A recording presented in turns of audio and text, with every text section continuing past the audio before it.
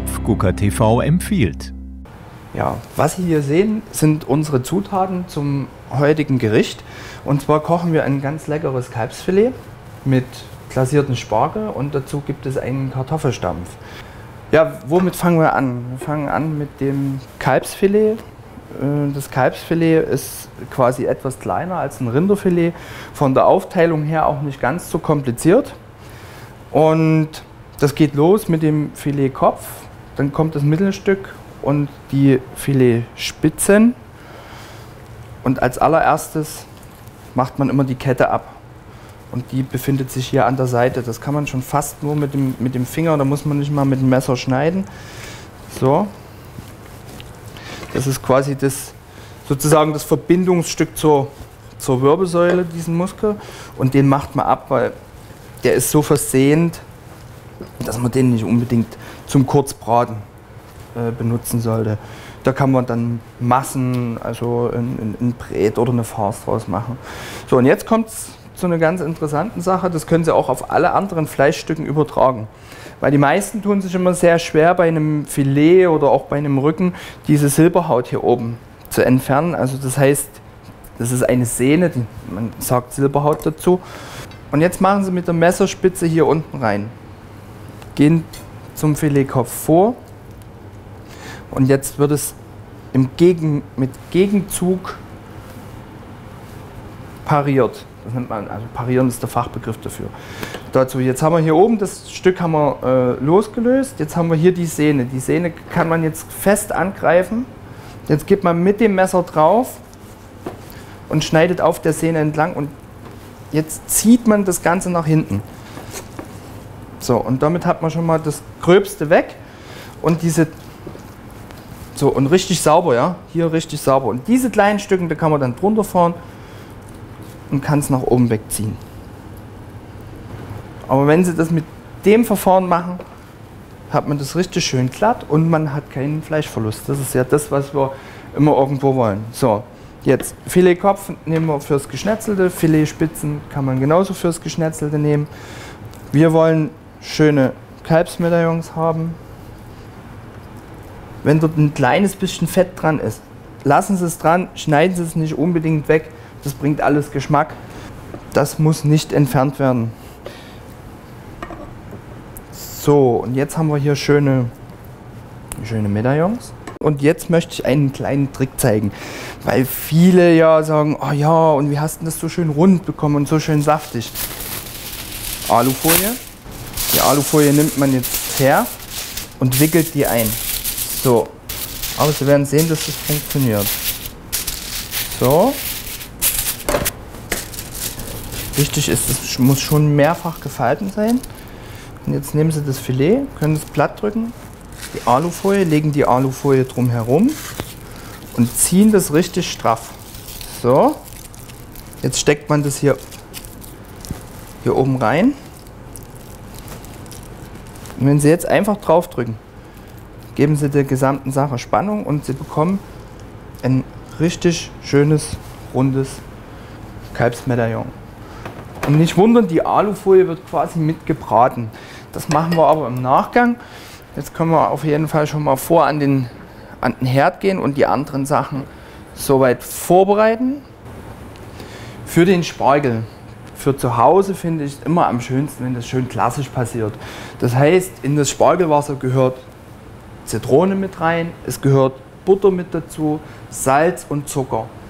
Man braucht die Zitrone, also diese Säure, dass der Spargel beim Kochen auch schön weiß bleibt. Der behält seine Farbe und hat seinen Glanz. Die Butter im Spargelwasser ähm, hat folgende Bewandtnis, wenn der Spargel dort drin gekocht wird, dann habe ich außenrum auch schon so einen leichten, einen schönen leichten Film.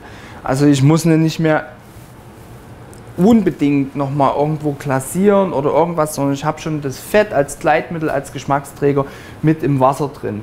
Plus dazu kann man das Wasser, das Spargelwasser dann im Nachgang auch ordentlich verwenden. Das heißt, man lässt es leicht reduzieren und kann eine schöne Spargelsuppe dort draus machen. Ähm, also bei der Sache kann man wirklich alles verwenden. Den Zucker beim Spargelwasser gebraucht man wegen der Bitterstoffe, weil Spargel hat äh, schon einen ja, einen etwas höheren Anteil an Bitterstoffen. Das merkt man dann, wenn man jetzt wirklich den Spargel einfach mal, wenn man mal in einen rohen Spargel reinbeißt. Dem kann man entgegenwirken, wenn man ein kleines bisschen Zucker mitverwendet. Also beim Spargel geschält, hier hinten die etwas holzigen Enden abschneiden und ruhig mit ins Wasser rein. Dann haben wir die Zitrone. Zitrone empfiehlt sich vorher immer noch mal so mit lauwarmem Wasser abspülen. Einfach einmal kurz andrücken und mit rein. Salz, Zucker und jetzt hier ein ordentlicher Löffel Butter. Das Ganze jetzt zum Kochen bringen. Man kann als Empfehlung, wenn man jetzt einen Dämpfer zu Hause zum Beispiel hat, kann man den Spargel auch noch dämpfen. Der bleibt ein kleines bisschen knackiger, aber man wird eins merken, man bekommt nicht wirklich diesen hundertprozentigen Spargelgeschmack dort rein, wie wenn man das jetzt in Salzwasser kocht. Da muss man irgendwo noch mal danach ein kleines bisschen klassieren oder irgendwo, irgendwie in diese Richtung arbeiten. So, als nächstes machen wir den Kartoffelstampf. Ein bisschen Öl. Und in dem Öl den Speck auslassen. Viele machen das jetzt zum Beispiel mit Wasser. Das heißt, die, die machen in den Topf rein einen kleinen Schluck Wasser und tun den Speck dann dort drin auslassen. Den krosseren Speck bekommt man, wenn man einfach noch mal einen kleinen, ein kleines bisschen Öl in den Topf reinmacht. Also kein Wasser, sondern ein kleines bisschen Öl und den Speck in dem Öl gleich kross werden lässt. Das Ergebnis ist besser. Das Ergebnis ist besser, der Speck ist, der Speck ist grosser, es ist schöner ausgelassen, als wenn ich jetzt mit Wasser arbeite und es macht auf jeden Fall nicht ganz so eine Sauerei. Weil irgendwann fängt das Wasser dann an dem Punkt an zu kochen dann fängt es an zu spritzen, spritzen, spritzen. Probieren Sie mal die Variante, auch zu Hause, wenn Sie jetzt Rotkraut oder Sauerkraut machen. Und hier sieht man auch schon das Ergebnis, der wird schon jetzt direkt richtig schön kross. Wenn der jetzt ausgelassen ist, kommt dann die, die Zwiebel dazu. Bei der Zwiebel, je nachdem beim Kartoffelstampf, der eine mag jetzt zum Beispiel, ähm, mag die Zwiebel nicht unbedingt auf der Zunge. Also das heißt, man kann zum Beispiel Würfel nehmen, macht man kleine fein geschnittene Würfel. Ich bin zum Beispiel jemand, ich mag das, wenn man die Zwiebel noch sieht und ganz am Ende auch erkennt irgendwo, äh, dass sie dort dabei ist beim Kartoffelstampf, finde ich persönlich das jetzt nicht ganz so schlimm. Deshalb nehme ich lieber Schülchen, also Streifen. So, als nächstes kommt der Zucker dazu. Der wird jetzt hier leicht mit karamellisiert. So, das geht jetzt gleich los hier. Wenn man jetzt mal hier reinschaut nochmal, dann sieht man, dass der Zucker jetzt hier anfängt auch zu karamellisieren. Und dieses Karamellisieren, ähm, den Prozess wollen wir jetzt quasi haben, um dann am Ende vom Ansatz her das Ganze glasieren zu können. So, das sieht schon mal gut aus.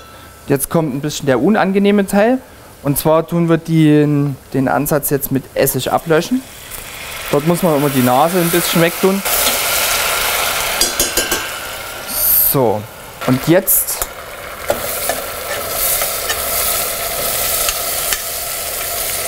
geben wir die Kartoffeln dazu. Man kann das zum Beispiel in der frühen Jahreszeit, kann man das mit Drillingen auch machen oder mit ähm, Larat-Kartoffeln. Das ist eine reine Geschmackssache. So, jetzt hier Salz, ein kleines bisschen Brühe ablöschen und jetzt wird es erhitzt. Ich nehme für den Kartoffelstampf, nehme ich immer gerne Kartoffeln, die jetzt wenigstens mal einen Tag alt sind. Das ist wie für Bratkartoffeln. Da kriege ich einfach vom, dann vom, vom gesamten Stampfen her einfach ein bisschen die schönere Konsistenz. Die lassen wir jetzt wieder heiß werden. Man kann das auch machen, wenn man das will, dass man jetzt zum Beispiel Pellkartoffeln macht, die pellt und dann drau dort draußen einen Kartoffelstampf macht. Also das, der Philosophie sind keine Grenzen gesetzt und das sollte man auch jetzt nicht auf irgendetwas schwören, sondern man muss die Variante finden, die einen am Ende des Wegs am besten schmeckt. Und das ist irgendwo der Hauptsache.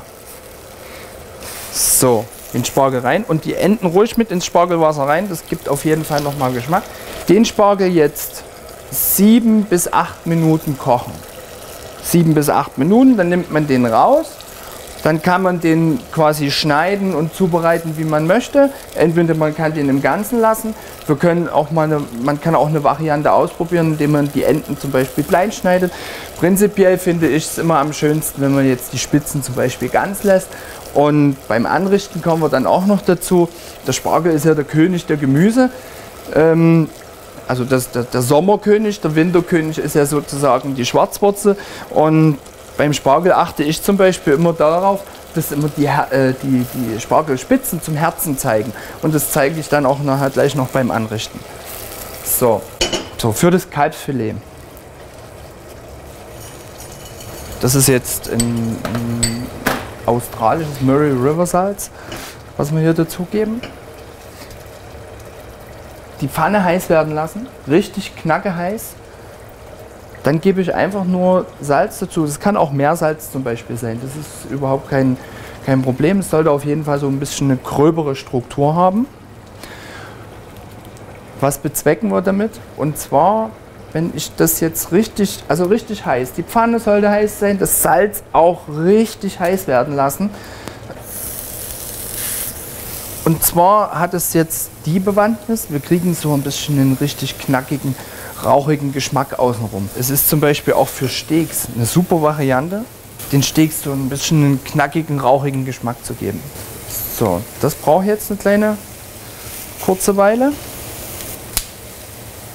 Also durch diese trockene Hitze, durch diese trockene, harte Hitze, die jetzt auf das Fleisch unmittelbar draufgrifft, wie beim Kontaktgrillen, kommen quasi so schöne, richtige, ähm, ja, ein paar Bitterstoffe, ein paar Röstaromen jetzt in das Fleisch mit rein.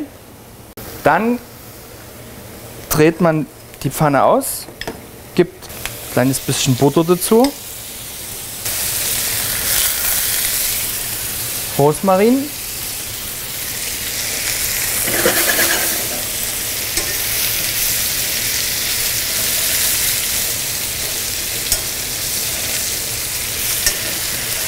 So. Nochmal drehen. Und hier sieht man jetzt schon sozusagen das Ergebnis, dass man so eine knackige Röstaromen hat.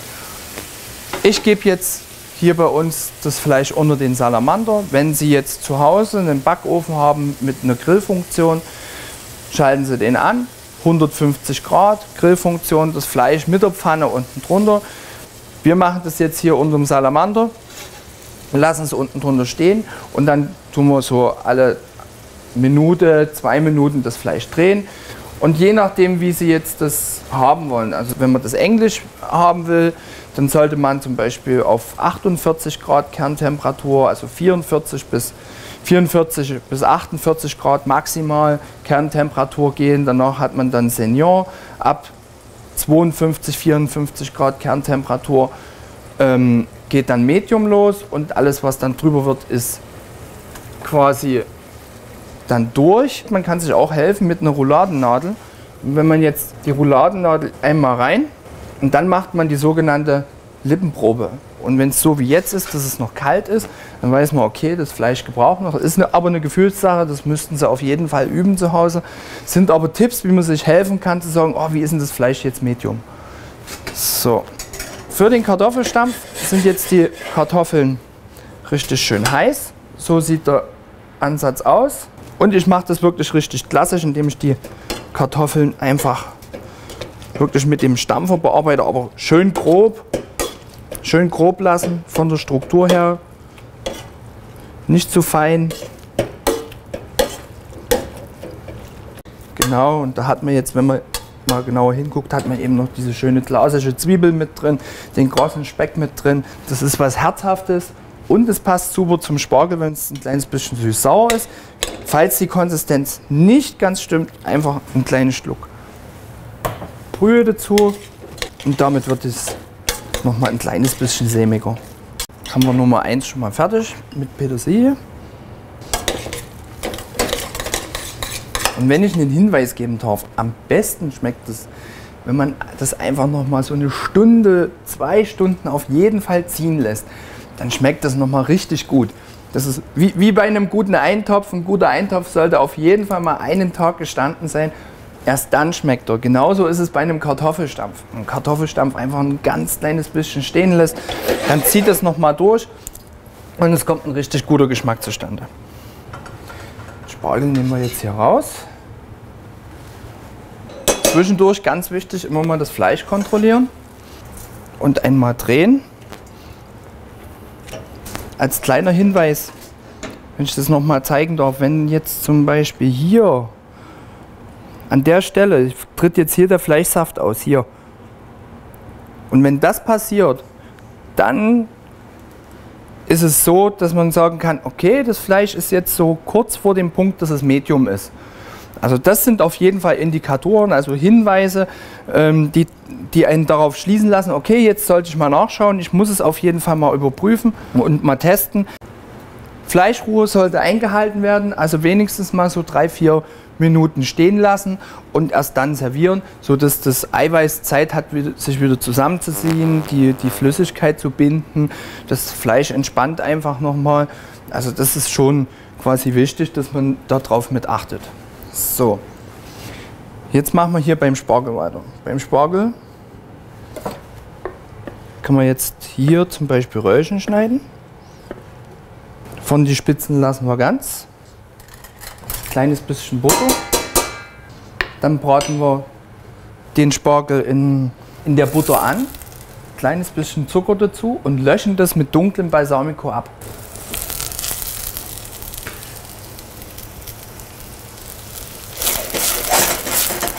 Wer möchte, kann das jetzt zum Beispiel anbraten mit Farbe, also so, dass ein kleines bisschen äh, eine Farbe draußen rum, äh, um den Spargel drumherum entsteht.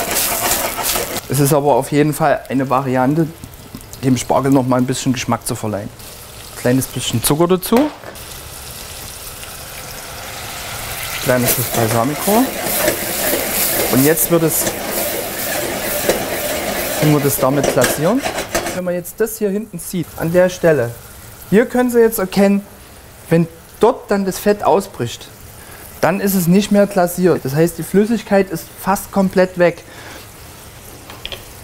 Das sollte nicht der Fall sein. Also man muss das richtig erwischen, so wie jetzt. So, so jetzt wie hier muss es quasi aussehen, wenn wir wollen, dass es glasiert ist.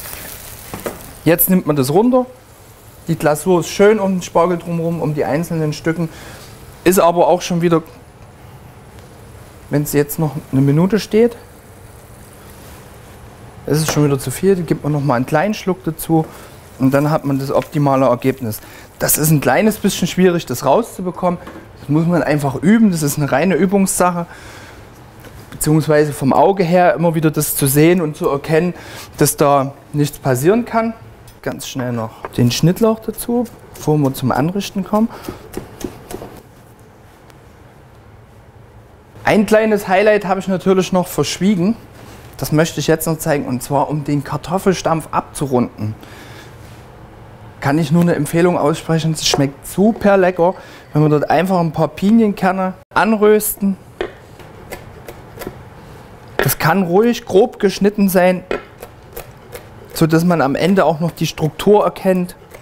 Und das in den Kartoffelstampf noch mit rein. Probieren Sie das einfach mal aus, es schmeckt super lecker. Beim Anrichten nehmen wir jetzt hier so einen, so einen Ausstecher das ist aber kein Muss. Ja. Sie müssen das nicht unbedingt machen zu Hause. Sie können das auch ganz locker irgendwie äh, auf den Teller bringen. Das ist überhaupt kein Problem. So, den Kartoffelstampf in den Ausstecher, dann festdrücken, dass der auch die Form bekommt. Kann man das abziehen. Dann lüften wir jetzt hier mal auch das Geheimnis mit, dem, mit der Alufolie. Und jetzt sieht man hier wirklich, das ist schön rund, oder? Funktioniert hervorragend. Das machen wir jetzt hier drumherum. Und jetzt den Spargel dazu. Für mich ist bei der Sache beim Spargel eben immer wichtig, dass die Spitzen zum Herzen zeigen, weil das ist immer, also wer als Koch zum Beispiel auf sowas achtet und auch vom Anrichten her darauf achtet, der, der macht das auch gern, ne? der macht das einfach mit Liebe. Ähm, das ist ein kleines Detail, da kann man zwar vielleicht denken drüber, wie man möchte, aber gehört auch ein bisschen Aberglaube dazu. So, jetzt noch ein schönes Söschen, was natürlich gut dazu passt. Man kann jetzt Bärlauch dazu machen, man kann äh, einen schönen Kerbel dazu machen. Also auf jeden Fall frische Kräuter. Man kann zum Beispiel den Bärlauch noch so halbieren. Macht man so ein schönes Schleifchen drauf. Und voilà. Ja, das ist unser schönes sommerliches Gericht. Ich wünsche Ihnen auf jeden Fall viel Freude beim Nachkochen und schauen Sie rein, sagen Sie mir Bescheid, wie es Ihnen gelungen ist. Ihr Benjamin Unger. Alle Gastgeber und Rezepte unter www.topfgucker-tv.de